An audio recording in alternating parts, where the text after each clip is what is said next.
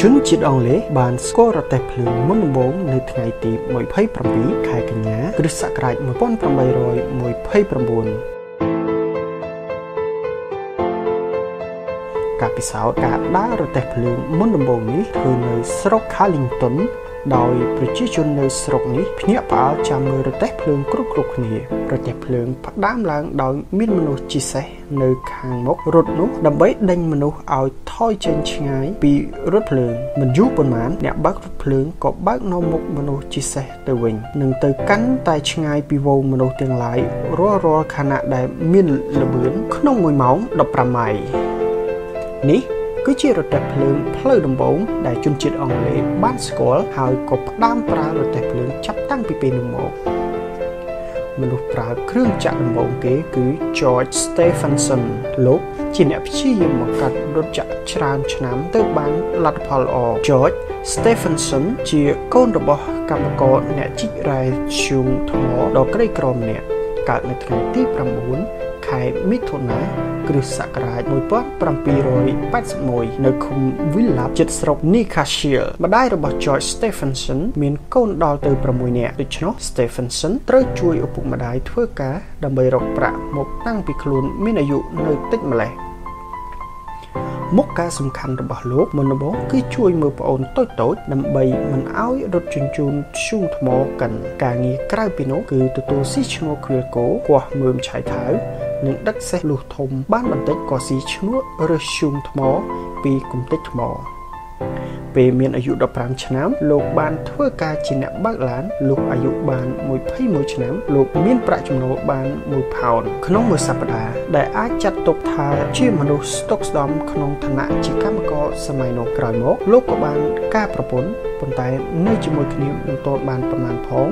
ប្រពន្ធក៏ទទួលមរណភាពទៅលោក ក៏ត្រូវតែចិញ្ចឹមកូនប្រុសតូចដែលមានឈ្មោះថា Robert ដោយខ្លួនឯងកាលលោក George នៅអាយុតិចនោះឪពុកម្ដាយរបស់លោកគ្មានប្រាក់ដើម្បីឲ្យលោកបានសិក្សារៀនសូត្រអ្វីឲ្យពិតប្រាកដឡើយដូច្នោះបានជា George Stephenson ចេះសរសេរនិងចេះអាន នៅពេលលោកធំទៅហើយ ការសិក្សារបស់លោកច្រើនតែងតែមានការជាប់ជំពាក់នឹងរឿងឡានដឹកជញ្ជូនថ្មកាលនៅក្មេងលោកតែងតែធ្វើឡានដឹកជញ្ជូនធ្យូងថ្មដោយដីឥដ្ឋលុះធំឡើងក៏ត្រូវធ្វើជាអ្នកលាងរថយន្តនេះហើយតមកក៏បានបើករថយន្តនេះដែរថែមទាំងបានសិក្សាកែខៃទ្រង់ទ្រាយផ្សេងផ្សេងនៃរថយន្តនេះយ៉ាងស្ទាត់ជំនាញទៀតផងកាលបើលោកមានប្រាក់ចំណូលមកសមគួរនឹងចេញថ្លៃរៀនហើយនោះលោកក៏បានទៅរៀនអានសរសេរនិងគិតលេខនៅសាលារៀនពេលយប់យប់តែចំណេះវិជ្ជាជាច្រើនក្នុងផ្នែកវិស្វកម្មរបស់លោកបានពីអនុវត្តផ្ទាល់ច្រើនជាងការសិក្សាទ្រឹស្ដីខ្ពស់ខ្ពស់គឺបានដោយការកែគ្រឿងរថយន្តនិងគ្រឿងប្រើផ្សេងផ្សេងក្នុងការដឹកជញ្ជូនធ្យូងថ្មនោះឯងដែលជួយឲ្យលោកមានចំណេះវិជ្ជាកាន់តែស្ទាត់ជំនាញខ្លាំងឡើងរាល់វេលាថ្ងៃមួយគ្រឿងបូមទឹកខូចខណៈនោះអណ្ដូងធ្យូងថ្មក៏លេចទឹកជាងនឹងកម្មករទាំងឡាយទល់បញ្ញាមិនមានអ្នកណាកែកើតមានតែឈប់ធ្វើការប៉ុណ្ណោះ George Stephenson ក៏យកចិត្តទុកដាក់ទៅពិនិត្យពិចាររកកន្លែងដែលខូចតែម្នាក់ឯងរហូតបានសម្រេចហើយបានបូមទឹកចេញពីអណ្ដូងអស់មេការអណ្ដូងរ៉ែដឹងក៏ឲ្យរង្វាន់ដល់លោក10ផោនបូកផ្សំនឹងប្រាក់នៃការថែរក្សាគ្រឿងចក្រត្រូវទទួលបានថ្លៃពលកម្មក្នុងមួយឆ្នាំ100ផោនទៀតផងវិស្វករទាំងឡាយបានព្យាយាមរកមធ្យោបាយប្រើចំហាយទឹកដើម្បីជួយដល់កម្លាំងគ្រឿងចក្រមកយូរហើយដូចជាប្រើរថទាញជំនួសកម្លាំងសេះជាដើមតែក៏នៅពុំទាន់មានអ្នកណាគិតឃើញក្នុងគ្រិស្តសករាជ1770 1970មានជនជាតិបារាំងម្នាក់ឈ្មោះកាត់ណូតបានសាកល្បងបង្កើតរថដែលប្រើដោយកម្លាំងចំហាយទឹកតែរថប្រភេទនេះធ្ងន់ហួសហេតុពេកនៅពេលដែលយកចេញប្រើប្រាស់កាលណាតែងតែធ្វើឲ្យថ្នល់ខូចខាតអស់ដូចនេះហើយទើបត្រូវបញ្ឈប់ឲ្យប្រើទៅវិញ អ្នកដែលបង្កើតបានល្អជាទីបំផុតកាលនោះគឺ Dre Wetic និងអ្នកស្រុក Cornwall នៃប្រទេសអង់គ្លេសដោយពួកគេបានបង្កើតរថកង់4ប្រើកម្លាំងទឹកនៅក្នុងគ្រិស្តសករាជ1800រថប្រភេទនេះប្រើការបាន តែថ្នល់សម័យនោះនៅពុំទាន់បានល្អកាលបើរថមានទម្ងន់ធ្ងន់នោះបើកបរទៅក៏ធ្វើឲ្យផ្ទៃថ្នល់ខូចខាតជាច្រើនយ៉ាងណាក៏ដោយការរបស់ Dre Wetic ធ្វើឲ្យពួកកម្មករជីកត្បូងថ្មប្រាថ្នាចង់បានគ្រឿងចាក់មកជួយពលកម្មក្នុងក្នុងអណ្ដូងឈូងថ្មជាខ្លាំងក្រុមជីករ៉ែឈូងថ្មក៏បានគិតធ្វើផ្លូវឈើហើយយកមកធ្វើផ្លូវដែកឲ្យរថចំហាយទឹករត់បានដោយមិនឲ្យទម្ងន់បំផ្លាញថ្នល់ដូច្នេះហើយក្នុងគ្រិស្តសករាជ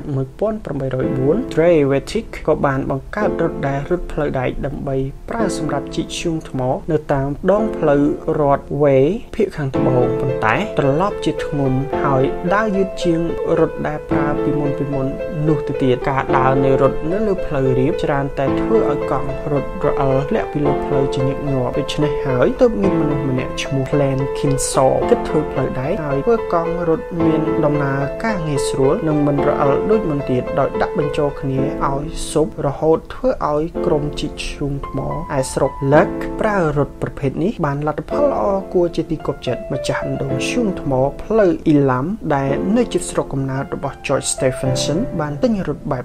Dreyvetic មកប្រើ George Stephenson ចូលចិត្តទៅមើលរថបែបនេះហើយព្យាយាមរៀននិងបង្កើតរថយកបែបនោះលុះដល់ថ្ងៃមួយលោកបានចេញសម្ដីថាលោកនឹងសាងរថថ្មីមួយឲ្យពូកែជាងនេះទៅទៀតម្ចាស់អណ្ដូងឈូងថ្មនៅឯ Ye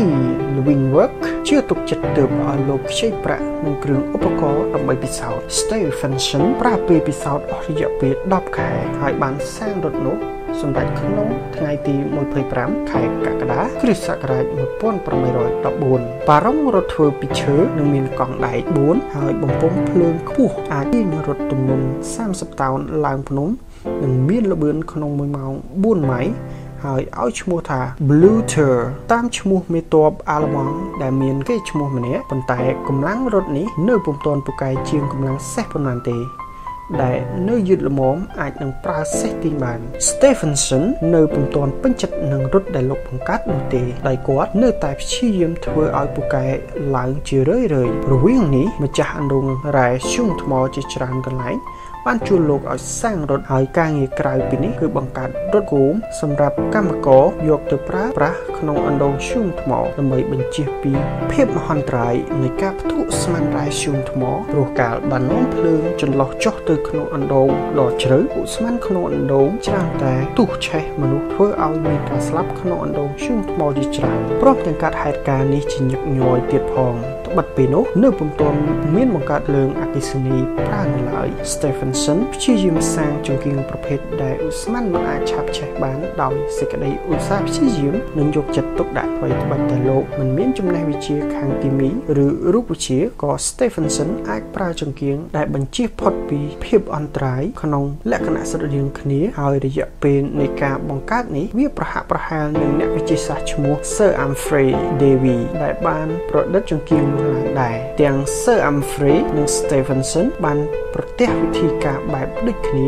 គឺត្រូវប្រើផ្ទាំងលោហៈដែលមានរុនតូចៗដើម្បីឲ្យអុកស៊ីហ្សែនចេញចូលបាន ហើយធ្វើឲ្យប៉ោងនិងផតនៅជុំវិញចង្គៀងដើម្បីធ្វើឲ្យផុតគ្រោះថ្នាក់ពីការផ្ទុះហើយភ្លើងនៅតែរក្សាពន្លឺភ្លឺបានដដែលកម្មករអណ្ដូងឈូងថ្មតិចអជាខ្លាំងដោយបានចង្គៀងបែបនេះមកប្រើដល់ទៅហៅចង្គៀងនេះថា Shoddy ដោយផ្លាស់មកពាក្យថា Shark ជាឈ្មោះក្នុងភាសាបារាំងនោះឯងហើយគេបានរៃប្រាក់គ្នាដើម្បីយកទៅតបគុណ Stephenson ដល់ទៅ1000ផោនក្នុងមជ្ឈិមសម័យឈូងថ្មក្រុងឡុងដែលកំពុងតែប្រើនោះត្រូវជញ្ជូនដាក់កប៉ាល់មកផ្លូវសមុទ្រពីទីប្រជុំជនដទៃដែលនៅជិតផេកប៉ាល់ប៉ុន្តែពេលដែលមានការជីករ៉ែឈូងថ្មក្នុងទីប្រជុំជនកណ្ដាលប្រទេសដូចជា Carlington ដែលនៅឆ្ងាយពីផ្លូវទឹកច្រើនតែប្រកែកគ្នាពីការដឹកជញ្ជូនឈូងថ្មក្នុងការប្រកែកគ្នានោះអ្នកខ្លះក៏ណែនាំឲ្យជីកប្រេតែក៏មានច្រើនគ្នាដែលយល់ឃើញថាគួរតែសាងផ្លូវរទេះភ្លើងជញ្ជូនឈូងថ្មល្អជាង ក្នុងនោះមានជនជាតិអង់គ្លេសម្នាក់ឈ្មោះថា Edward Fish បានព្យាយាមស្ទុះស្ទាឲ្យមានការកសាងផ្លូវរថភ្លើងនេះឡើង ទីបំផុតរដ្ឋសភាបានចេញច្បាប់ឲ្យសាងផ្លូវរទេះភ្លើងរវាងស្រុក Scotton និង Carlington ដើម្បីប្រើការដឹកជញ្ជូនធ្យូងថ្មដែកពោតនិងទំនិញដតីដតីដោយមិនមានអ្នកណាគិតដល់អ្នកជិះទេព្រោះមិនគិតថានឹងមានអ្នកណាចង់ជិះរថស្មោកគ្រោកដែលជញ្ជូនទំនិញបែបនេះហើយក៏មិនមានអ្នកណានិយាយពីរថភ្លើងនេះដែរពេលនោះនៅប្រើសេះទាញខ្សែរទេះភ្លើងនៅឡើយប៉ុន្តែ មានមនុស្សម្នាក់ដែលនឹកដល់រថចក្រនេះមនុស្សនោះគឺលោក Stephenson ហើយ Stephenson បានធ្វើដំណើរទៅរកលោក Edward Fish ហើយបបួលឲ្យមើលរថចក្រដែលលោកធ្វើដើម្បីទាញរថជញ្ជូនឈុំថ្មពីអណ្ដូងនៅទីបំផុតលោក Edward Fish ក៏សុខចិត្តទៅមើលរថរបស់ Stephenson ហើយសុខចិត្តជួល Stephenson មួយឆ្នាំ300ផោនឲ្យធ្វើរថនោះ Stephenson ត្រូវនៅលំបាកខ្លាំងព្រោះមិនមានអ្នកណាជួយសោះលោកត្រូវធ្វើការម្នាក់ឯងត្រូវជួលកម្មករដោយប្រាក់របស់ខ្លួនឯងត្រូវចាត់កសាងផ្លូវរទេះភ្លើងតាមຂະຫນាតដែលលោកត្រូវការនិងត្រូវព្យាយាមបង្កើតរថចក្រតាមសេចក្តីយល់ឃើញរបស់លោក Stephenson ធ្វើបានសម្រេចហើយចាប់ផ្ដើមបើករថចក្រទាញខ្សែរថភ្លើងជាគ្រាដំបូងនៅថ្ងៃទី 28ខែកញ្ញាឆ្នាំ1825រថភ្លើងផ្លូវនេះជញ្ជូនរ៉ែឈូងថ្មនិងមនុស្សជិះពីស្រុក Carlington ទៅ Stockton យ៉ាងណាក៏ដោយក៏ពុំសូវមានអ្នកនិយមជិះរថភ្លើងច្រើនដែរគឺច្រើន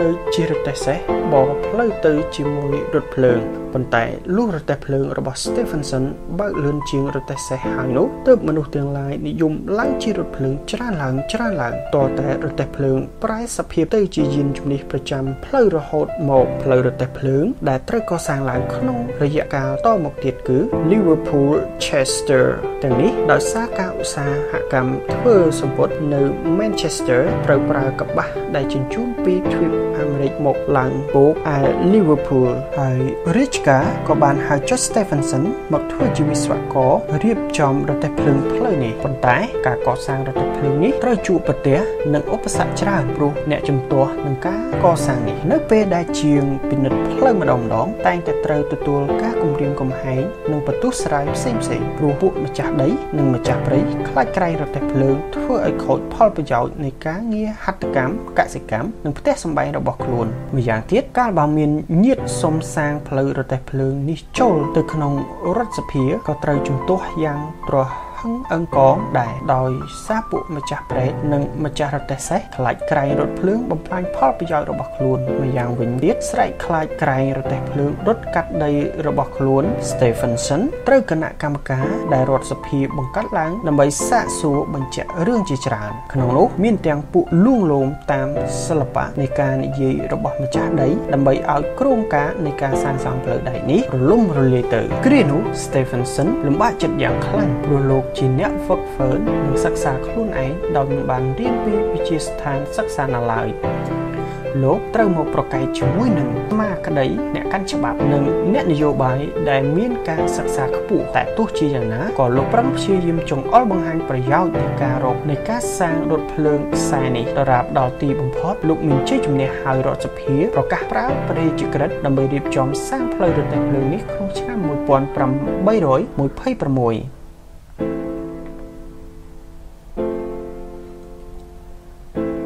ការសាងរទេះភ្លើងនេះលំបាកខ្លាំងព្រោះត្រូវសាងស្ពានដល់ទៅ63ស្ពានត្រូវធ្វើផ្លូវរទេះភ្លើងកាត់ភ្នំត្រូវធ្វើឧបមង្គកាត់តាមស្រុក Liverpool ដោយខ្លួនឯងនិងត្រូវលុបបឹងដើម្បីដាក់ផ្លូវរទេះភ្លើងកាលបើដាក់ផ្លូវរទេះភ្លើងស្រេចហើយ Stephenson បានចាត់ចែងសាងផ្លូវរថភ្លើងថ្មីឡើងដែលមានកម្លាំងខ្ពស់បំផុតរត់ក្នុង1ម៉ោងបាន28ម៉ៃនិងកម្លាំងដែលរត់តាមធម្មតា1ម៉ោង15ម៉ៃការបើកផ្លូវរទេះភ្លើងនេះបានធ្វើឡើងក្នុងគ្រិស្តសករាជ